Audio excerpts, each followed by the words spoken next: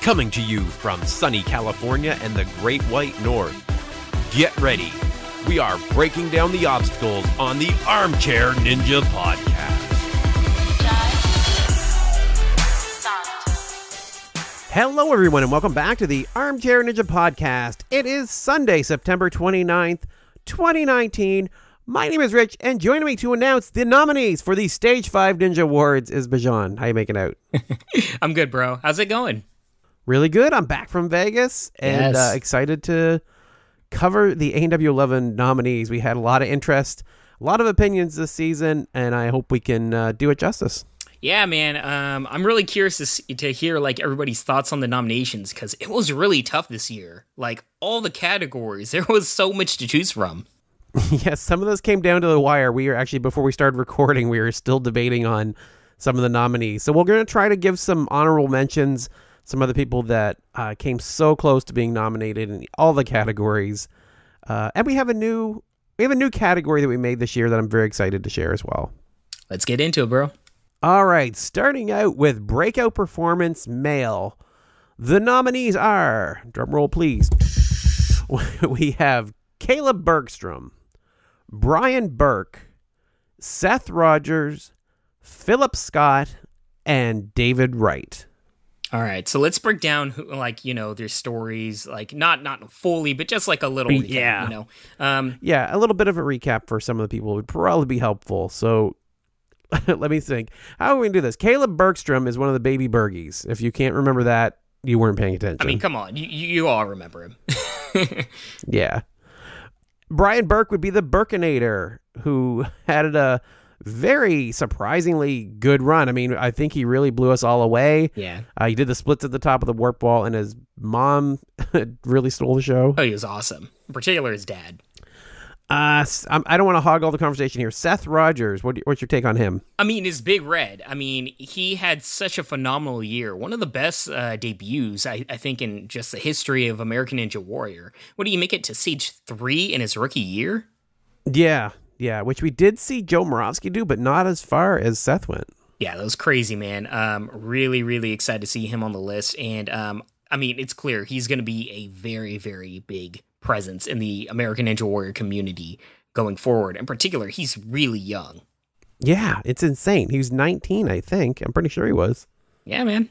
Philip Scott was another uh, surprise addition this year. Yeah, he has um, Asperger's, but the more the, the thing that I think everybody remembers is that he had a panic attack right before um, I believe it was his. Uh, I think was it the city finals course that he almost had a, that he had panic attack right before the run.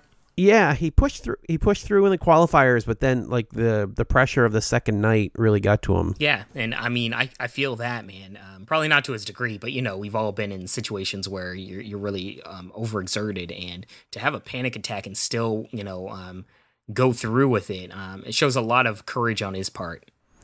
Yeah, and last but not least was David Wright, the Cake Ninja. Yeah, you can talk about this one. uh, he beat the city finals course. He ended up going out in stage one in Vegas, um, but he had a lot of focus on the show. Uh, and I think that's important to to remind everyone. Um, probably should have said that before we announced these. That we really focus on the show. It would be easy to say, you know, pick breakout performance based around who went the furthest, right? That's and then it's easy to decide who went the absolute furthest. You pick that person. Yeah, yeah. But we try to keep the focus on what we saw on the show. So who really stood out, uh, had big stories, big moments, and these were the top 5 i- from that perspective. Yeah, you want to encapsulate everything. It can't just be based on statistics because it, it's kind of boring if you just do that. So it, you you have to take the whole culmination of story, performance, how much screen time they have, um, how much relatability, how much you're rooting for them, or just everything involved. Yeah. So we had some other extremes. So we have some honorable mentions here. Um, from the story wise side of things, Ben Udy, aka Chad Flaxington, and yeah. Sam Garay. Come on, Sam huge- Garay, that's that's the dude, bro. Man, I if I Yeah. had it my way, Sam Garay's on this this nominations list. Sensei, let's represent, man, with his with his uh, manager and his crazy friend on the sidelines. He was awesome. Yeah, yeah, they were definitely awesome. I just felt like, you know, the people that we picked maybe kind of balanced out the big personalities with the performance on the course. So Yeah, uh, I could it was kind of like a yeah, it, it was just a way to do it. And from the other perspective, we had Tyler Smith, Alex Blick, and Ben Wales all do amazing this season, going to stage two and stage three, but didn't really get to focus on the show to stand out as much. Yeah. So that category was a nightmare, as you can tell with all the names we had to go through. The next one was a little bit easier when we looked at it. Breakout performance for the females. We have Maddie Howard, Taylor Amann, Sandy Zimmerman, Angela Gargano, and Caitlin Bergstrom. So some of these are a little tough, tougher than others. I got to mention right off the bat, Maddie Howard. I almost missed. I'd forgotten about her, and when I was going back through, she got took eighth place in city finals as a rookie. Like she did amazing. She ran in the same uh, course as uh, Jesse Graff, so she got outshined a little bit there. Mm. But like, consider that she took eighth place in city finals as a rookie. Yeah, that's insane, man. And and when Rich is saying this, uh, he, you don't mean like of the females. You mean in general, like all the In contestants. overall, yeah, yeah, that's insane. yeah, very very strong. Uh, Taylor Amann, we talked about her so much, and we know her from Team Ninja Warrior. Yeah. I hope you all know who that is. Sandy Zimmerman. Um, t- tell us about her. Sandy Zimmerman is the quote unquote first mom to hit a buzzer on the show. She had Oh. a big story this season. Yes, I love her story. Yeah, she Yeah, she she, really had a great story and great performance. I mean, she's she's a strong contender when you really think about it. Yeah, I think so too. Uh, Angela Gargano, uh, maybe you don't remember as much. Her biggest story was in qualifiers. She had her leg brace on. She tore her ACL last year on the show. Like she had an injury on the show itself. Had a leg brace. Went very over the top in her uh, recovery efforts to get back on the show again in time, um, and did fantastic, managing, managing to qualify for city finals in spite of that. Yeah. And last but not least, we got Caitlin Bergstrom, who's the other baby birdie. And I mean, you remember her with the flowy curly hair. You know, she's she had the uh I guess the the joggers on all the time. She was really really fun and she was so impressive. I, I almost feel like she overshadowed her brother, but she just had so much personality, charisma, and just like a great smile. Like everything about her, uh, she's just so unique. I guess is the best way to describe it. Um, in terms of compared to the rest of the field, and she was a really good breath of fresh air. Our next category is Best New Obstacle, and this was hard to narrow down. Yeah, there's some good ones, man. Uh, Like this is always a really really fun. Um, I guess for me at least, a really fun category every single year. This one and uh, Ninja Killer of the Year. I love them. Yeah, Best New Obstacle is interesting because I usually get the most feedback on this one of people that want certain obstacles, and it's always surprising to me. Things that we thought were fun or cool that we, um, seem to line up fairly well uh, a lot of times, but then there's always those ones that kind of catch us off guard. Yeah. Uh, we had to include, uh, sorry, I'll run down, down them here Power Tower, Coconut Climb, Grim Sweeper, Iron Summit, and Slam Dunk. Uh, Power Tower, we kind of felt like we had to include, right? Like it kind of made a big scene it- this it- year. For me, at the very least, the city qualifiers was the like the major portion for the power tower where it created really fun dynamics and runs. But even more so in the city finals, the power tower, even as even though it wasn't as dynamic of an obstacle, um, it made up for that in terms of the drama, as in terms of the stakes involved, because that safety pass was such a big deal. So overall, the power tower was awesome. Yeah, well said. Uh, I definitely preferred the qualifying one, but like I said, the stakes of the city finals one couldn't be uh, overstated. So the coconut climb was a really interesting one. I hope everybody remembers that it looked like a tree on either end. They'd have like a, a hoop that they'd use to climb up one side and skirt across and then down the other. Really dynamic, fun obstacle. We saw some big, big falls um, some really good, you know, interesting stories that it created. Where, you know, watching Barclay Stockett struggle on it was crazy, and then we had, uh, oh, I'm gonna forget the guy's name, but we had somebody plummet down the the other side of it and fail unexpectedly. Yeah. Like it was just a very, very interesting, cool, different obstacle. Yeah, visually it was there, and um, technique involved. It wasn't just one thing. It it really had a different dynamics throughout it. Even at the very end, you couldn't just dismount from it. From it, you had to do something different. Uh, the next obstacle was the Grim Sweeper, which I honestly wanted to include and wasn't going to uh, until I got several people write in and say they really liked it and hoped it would be on there. And to give it a bonus, Drew Drechsel on the official podcast was saying that it's a fantastic obstacle that he almost fell off of and that people are underestimating, that it's very difficult, much more difficult than it looked. Yeah, I think it was just um, maybe in the wrong place or people just expected too much from it um, in terms of it replacing the wing nuts. But as an obstacle in itself, it's freaking awesome, dude. I mean, the visual dynamic of it is really there. Not to mention, the technique involved with it is completely different from all the other obstacles we've seen on the show. So I thought it was very, very creative, and I like it a lot. Iron Summit was the next nominee, and if you don't remember, it was the combination obstacle that we had on stage three of Iron Maiden and Northwest Passage, which Northwest Passage is the one that took out the some of the top ninjas in one of the city finals courses. Uh, this was a nice combination of the two of the more difficult uh, finals courses we've seen. Yeah, I loved it. Its placement was perfect. It um, was very difficult, but not cheap in a way. Um, in, in particular, and just the way that it was made and yeah, I like creativity. I, I, like obstacles like this, and also it really, really taxed their their bodies and the, in particular their forearms. Um, everything about it, I thought, was very, very creative and dynamic. Yes, find a way to stop the handles from hitting people on the head, and it'd be a really great addition to the show. Yeah. Uh, and as a fun addition to this one, I was so happy to have people write in to say that they wanted Slam Dunk because we love that obstacle. Thought it was very cool. Even though it didn't take out very many people, it was still a great new obstacle. Yeah, that's one of those obstacles where yeah, the statistics don't show that it's, you know, knocking out all the ninjas, but it doesn't have to always be that. Um, visually, it was really fun. It looks like an obstacle that's really fun to do, you know, in, in a gym. And, and just, I don't know, I thought it was very creative. All right, moving on next, we had the Ninja Killer of the Year. Ooh, these, oh this is always the big one for uh, a lot of the fans, Rich. we don't get this right, we're going to hear about it. Well, that's the thing. I mean, we may have a very the most clear cut one we've ever had. So let, let's go run down these nominees.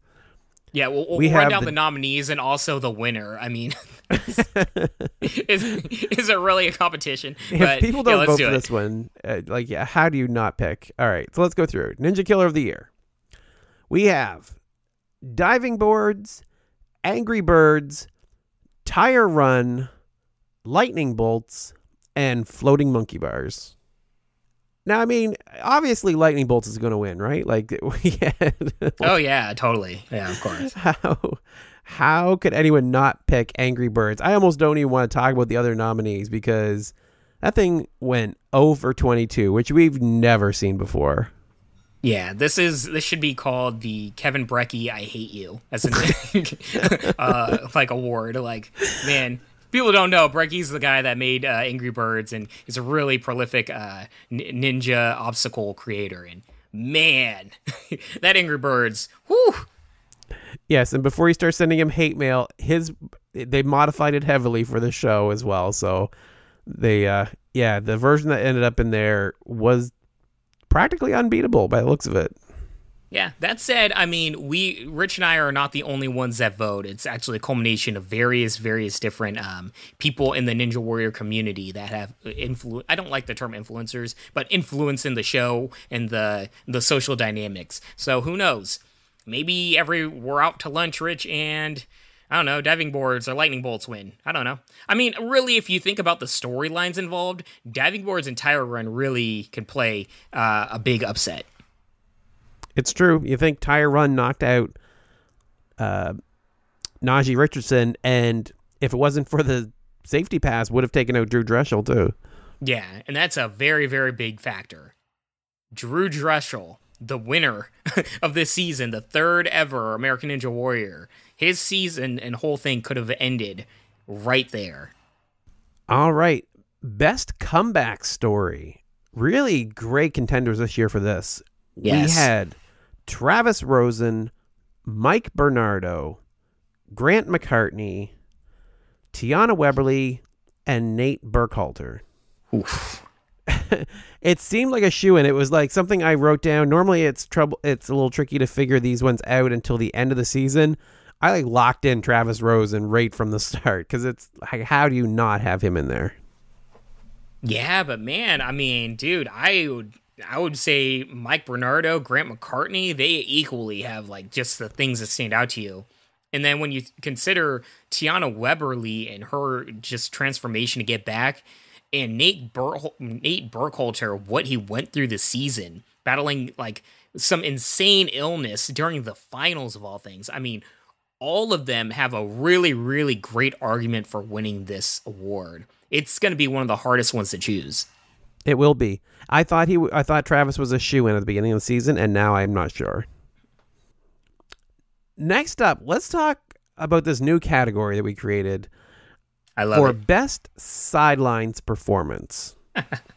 Oh my god, I'm so excited for this one. Now, this may not come back again, but this season it seemed warranted to have. Yes, this was a season of the sideline people just becoming stars on their own. So, best silence performance, we have Vicky Rayl, that would be Adam Rayl's mom, the Backyard Ninja Kids during Tyler Smith's run, Pamela Burke, which would be Brian Burkenator's mom. I would argue also his dad. Yes, Should be in there. arguably his dad as well. I, I would put I would put Burkinator's parents. How about that? sure. Primo Polpo, uh, that would be Sam Garay's manager, um, as well as his uh, friend from City Finals as well, and Zuri Hall. I mean, first of all, Vicky Rayl, uh, like Adam Rayl's mom, is just amazing. She is a she is just an institution on this show, and where we have a lot of people's family members, um, you know, Carson Williams' mom and a bunch of others, um, you know, being characters in their own. I feel like Adam or Vicky Rayl in particular is so genuine with her emotions and caring. Like you could just literally see the the worry, but also the love, and and she just seems like the sweetest lady. Yeah, it's it's was kind of hard to pick some of these, right? There was so many people that stood out over the year, and then it's hard to really to make sure that everybody understands who we're referring to, right? So I say Pamela Burke, you might go, "Who's that?" But if you saw her, you would remember her for sure. Dude, that hair though. Like yeah, you, you you can't not remember that hair. Wow. Uh, so yes, very excited to see how this one plays out uh, because that could go a couple of different ways. There are some great nominees in there. Yeah, but shout out to uh, the Backyard Ninja Kid um, during Tyler Smith's run. For people that don't remember, he's the one that was just like losing his mind with these amazing facial facial expressions and like just shouting and yelling to the to the crowd. Um, he was such an amazing presence during Tyler Smith's run. Almost overshadowed him, to be honest with you, and not in a bad way. I mean, when I think Tyler Smith's run, I think the Backyard Ninja Kid. That kid was so awesome, and I, I apologize, I don't know his name, so that you know that's what we're calling him. I, I thought you know it was kind of toss up. Kind of I could find his name, but then I thought they would probably appreciate more Yeah. promoting their channel, Backyard Ninja Kids. that, anyway, that and so. he's a juvenile. Like let's let's not get into into Right. that. So So yes, so yes, it was. He's one of the few times we've actually could hear someone over the rest of the crowd screaming from the sidelines. Like when they cut away from him, you could still hear him. uh, he was so adorable. I love that kid. Um, Primo Polpo, we all remember him, and Zuri Hall was just amazing this whole season. Yeah, Zuri really stood out this season. We want to make sure that we got her into a category of her own, uh, and this is how we're doing that. Uh, next up, shocking fall of the year, and there were a lot to choose from. Yeah, I wish there weren't, but there Yeah. were. every season there's a lot to choose from. This one had some really spectacular ones. Um, so the nominees here are Geoff Britten, Adam Rayl, Najee Richardson, Jesse Graff, and Drew Drechsel in stage one. Yeah. Um I mean, what can you say? Geoff Britten, I, I guess it's shocking in the fact of how well you know, he's the very first American Ninja Warrior, the first person to do the perfect season and everything else, you know.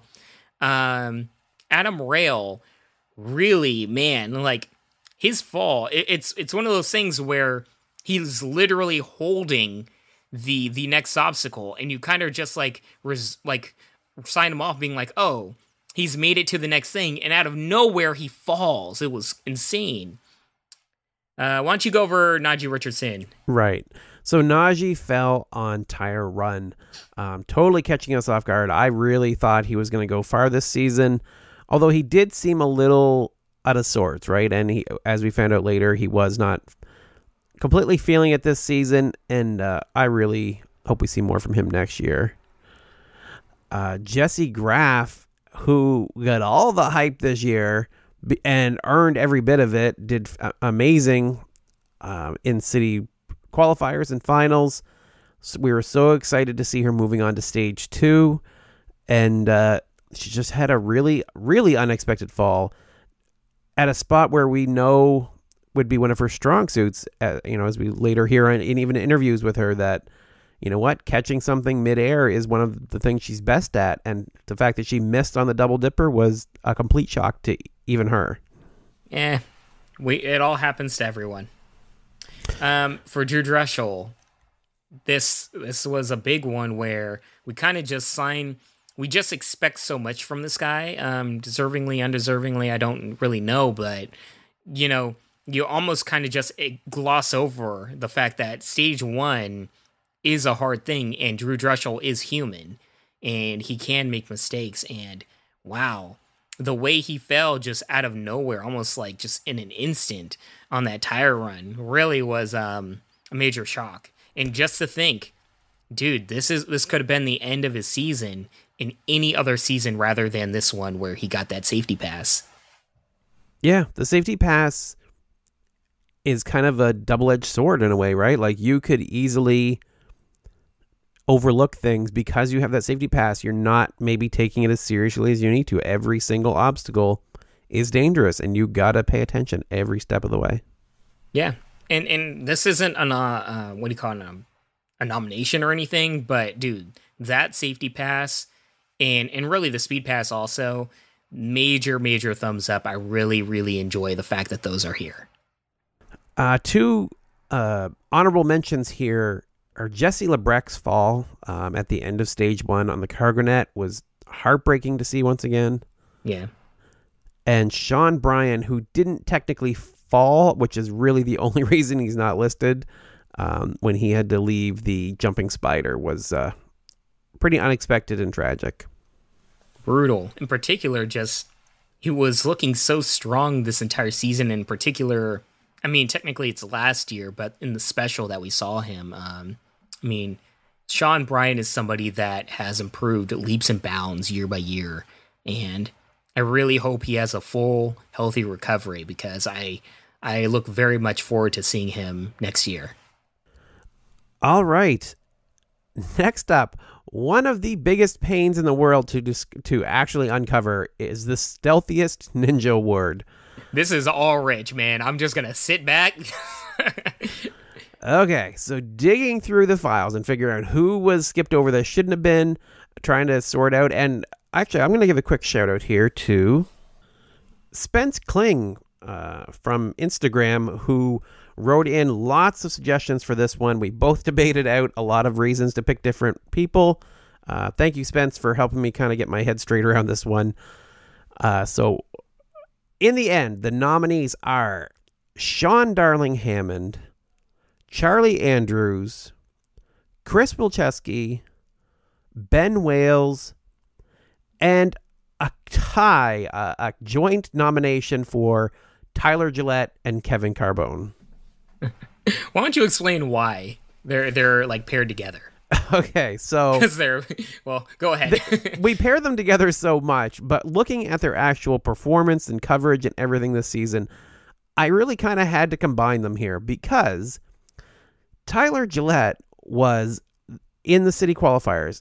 Know, they both did get segments of a sort in either the qualifiers or the finals.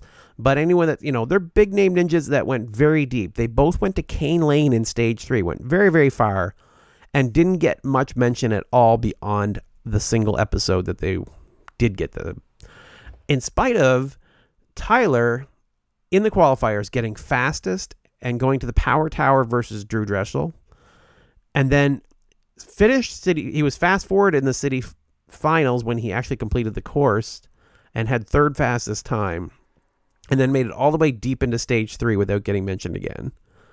Kevin Carbone was fast forward, beating the mega wall in the qualifiers, and then finished the city finals and went to the power tower with Drew Drechsel as well.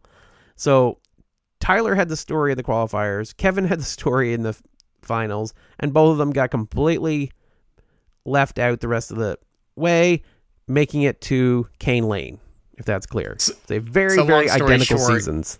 Yeah, long story short, they basically are whether they like it or not, they're, they're twinsies this season. yeah, very much so.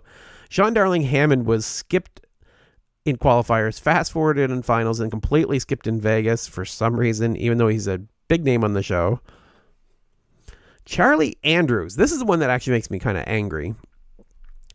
He had a major injury on Ninja two seasons ago, I believe, and is finally back and running the course. Like everyone was waiting to see him come back. Like one of the you know, the best most promising young ninjas out there. And he did he had a, an amazing story, did quite well in the qualifiers but wasn't able to qualify and they didn't show him at all. Yeah, this is a big story. Um I mean, my guess is they're waiting to highlight him next year if he does better but either way, the he wasn't mentioned in the slightest, and this is Charlie Andrews. It's it's a very very big story. Yeah, it really didn't need. I would have loved to have the full run and segment for him, but even a fast forward, letting us know that he's back and that he's okay. Like I, I really would have appreciated that.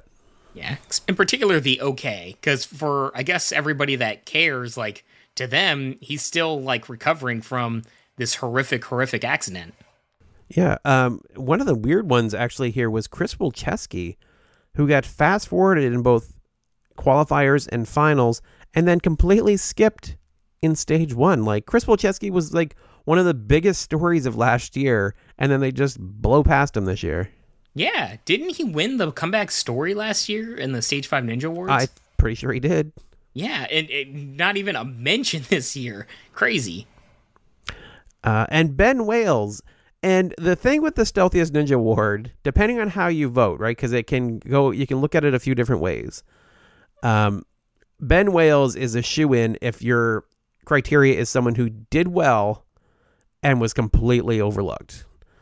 If you don't know who it is, that's a pretty good sign that maybe they're one of the stealthiest ninjas. I, I have no idea. He was fast forwarded the entire way through. He was a walk on rookie who made it to stage two. Like that's crazy. Made it to stage two. Wow. Yeah. Can you imagine this guy? Like, eh, there's always this story every single year, but imagine you do so well, you make it to Vegas, and you get to stage two, and you aren't shown at all. Holy crap. That must suck, man. Yeah. Yeah, I would think so. Uh, I am really going to have a hard time picking this category. I got to tell you, because this is these are some tough picks, and I and I have no idea who's going to win this one. Yeah, there's many ways to go about it. I mean, if you really think about like somebody that should be should have been shown, Charlie Andrews 100%. But if you if you try to find a mix, there's a lot of different people, and then if you just go based on statistics and blah blah blah alone, Ben Wales is your guy. So there's there's many ways, and it really just goes down breaks down to how you vote and how you perceive it. So we have two categories next. We have the female ninja of the year and the male ninja of the year. The big ones. These are the ones. So for female ninja of the year, the nominees are Maggie Thorne, Michelle Warnke, Jesse Labreck, Barclay Stockett, and Jesse Graff. Good luck voting for that. Oh my god. yeah, this is probably one of the, the hardest ones I think we've ever had to choose. Usually you have some kind of a front runner, but the stories and the accomplishments of the women this season are so compelling that it's really going to be incredibly hard to sort through them. Yeah, and uh, special shout out to runners up Tiana Webberley and Alyssa Beard. I mean, definitely they had amazing seasons also.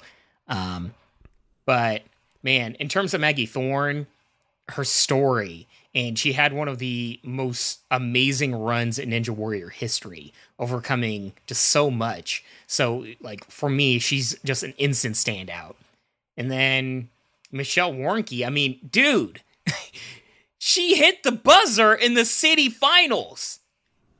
How crazy yeah. is that? I know. Of all the women that could do it, I, I love that it's Michelle Warnke, right? She was the second woman up the warped wall, and she's the second woman to beat a city finals course. And I think she's really earned it, really earned that moment in the spotlight again. Um, she had such a crazy run too, where she got she smacked herself in the head with the ring and like at stitches and everything, and still managed to beat the uh, the final scores. Uh, absolutely amazing. Jesse Labreck followed right in her footsteps and did the exact same thing, which we've been waiting to see from her. We knew she could do it. Um, just a fantastic ninja all around, and you know had that moment to shine with her. Yeah, totally. Barclay Stockett had, you know, she wasn't able to to pull off a finals or stage one, so a little bit of an underdog in this case, but she had some compelling runs. Um, she hit some, you know, milestones of her own. Went very deep in the course. Um, she's just always fantastic and just you know eats up the the limelight better than anyone. Yeah, for me, what really stood out for Barclay this year was her story um, and, and her runs. She had really compelling runs, but she had a great story also. Jessie Graff, um, always a contender, but this season, you know, she did amazing. She, you know, beat the qualifiers, which is not really that shocking, but um, it was an emotional moment, right? She collapsed on top of it and said she was home. Um, just a, a great, you know, feel good story there. And then in city finals, she arguably, not even in, inarguably, she went the furthest of any ninja. She didn't get there faster, but she went further on the ninth obstacle than anyone else. And, you know, so near to a complete history making run. Uh, in spite of her, the fact that she had not been training a lot of ninja coming into the season. So, I mean, she's just such a top notch athlete. Love to see her, her hit new milestones every year. Mm-hmm. All right. Gushing over. Moving on to the male ninja of the year. We had so many choices on this one. This was tough. We really had to narrow them down. Even like it took time to narrow down just to the runner ups, you know? and then from there, I mean, dude, it, it, was a lot of, you know, back and forth, back and forth. But we finally managed to bring it down to five ninjas. Right. So a we lot of have... you guys, are, sorry, but I was just going to say, a lot of people are not going to agree with our choices. That's why we have a people's choice um, for the best male and female ninjas of the year. Um, definitely, you know, if you disagree with any of our nominations, hey, let your vote be known. But here we go. Right. So the male, the nominees for male ninja of the year are Seth Rogers, Mathis Owhadi, Adam Rayl, Drew Drechsel, and Daniel Gill. Ooh wee! That is a Ooh. list, man. Yeah, and it, it's like you said, it was so hard to narrow down. Let's actually go through some of the honorable mentions. We had Dave Kavanaugh, Ryan Stratis, Michael Torres, Ethan Swanson, and Joe Moravsky. All had fantastic seasons as well. Yeah. And of course, there's the standout names like Najee Richardson and people like him. But um, these were this was tough for multiple reasons, but what we really wanted to think about was when you think about season 10 or sorry, uh, season 11 of American Ninja Warrior, uh, who do you remember in terms of storyline, runs, performance, everything involved? And you really can't argue against any of the people on the board right now Seth Rogers had such an amazing rookie year, and his story and everything else is coming to prominence. He kind of was like the new Mathis, uh, although I mean, I guess not. To I mean, let's really, if you think about Mathis last year, it was like everywhere. But um, yeah, it was that.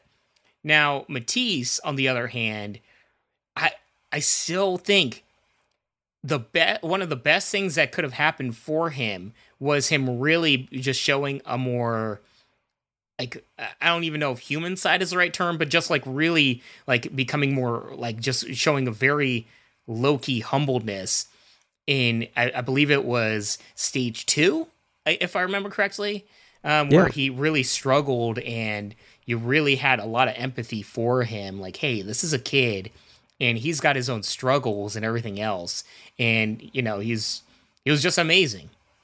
Yeah, Mathis um, had a really compelling season. Like beyond the performance, which he did fantastic. You know, we think back, you know, he beat Daniel Gill for the safety pass. Like, yeah, that is a huge accomplishment. Yeah, and Adam Rayl, Adam's just fantastic. We've been praising him for years. To see him, you know, push back those past those boundaries and do what we knew we could do, and then you know, to add to the the compelling part of his story, we have that tragic fall towards the ends of stage three, which we've seen from so many of our favorite ninjas, right? Like, how many years have we seen Joe and Drew and others go that far into stage three and fall? I mean, this is just part of the growing process, Adam. Like, I'm sure you would have loved to have finished the whole thing. It just means it's not your year, and we will definitely be seeing you up there in the next in the next year or the coming years for sure. Yeah, and um, I mean, I might it just might be me, but I also took into account what the accolades these ninjas achieve outside of the show proper, and Adam Rayl has been killing it just like he does every single year um, in the regional circuits and everything else. And yeah, he's just so incredibly strong. Drew Drechsel, we threw a pity bone to. We thought maybe we should include him just because you know maybe he, you know, yeah, he had. A, he, I guess he had an okay year. Yeah, I mean, let's be real. He has no chance of winning this at all. But you know, yeah, yeah, we'll, we'll give him a. We'll give him. Overlook that guy. Um, uh, Drew's amazing. Nothing more needs to be said. We we have a pretty strong idea that he is. You know, he he has a chance at this this award. Eh, slight, but he has a chance. Uh, Daniel Gill had an amazing year, a record year, any other year, and it would have been like, like just imagine if Drew hadn't run, or if he didn't have that safety pass, like Daniel would have been on top of the oh, world. Oh, yeah, it would be still Daniel did amazing. hey, do you, well, no, I, I, was about to say, do you think Daniel Gill got the fifty thousand for Last Man Stand? But he wasn't. I guess. Damn, he gets nothing. No. Yeah, that sucks.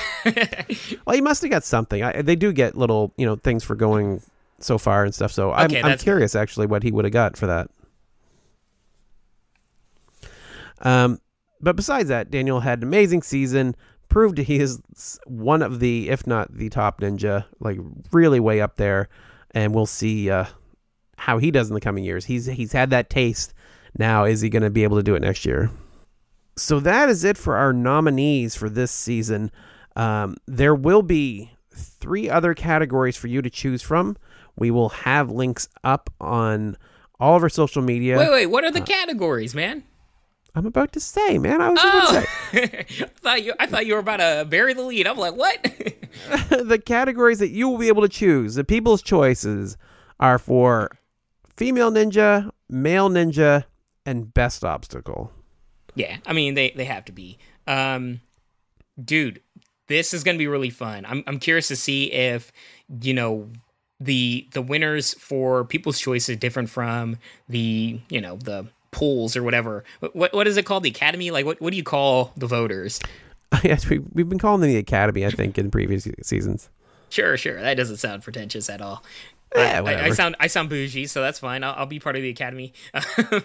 but dude, um, very excited to hear everybody's thoughts. Please get word out. Let everyone know that voting's happening um, for People's Choice, and I really, really want to see your guys' submissions.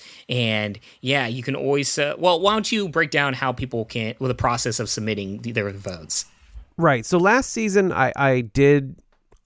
Uh, there were some people that were upset that we had only Twitter voting um, so to make it as open as I possibly can, I don't care how you get it to me. I'm gonna I'm gonna set up a poll, uh, uh, wait a submission form on our website at ninjapodcast.com. But if you get me a vote through email, Twitter, Instagram, DM me, I don't care how you get a YouTube comment it to me. if you get it to us, I will count it. So get us a vote for your female ninja, male ninja, and best obstacle. 100%. I want to hear you guys' thoughts.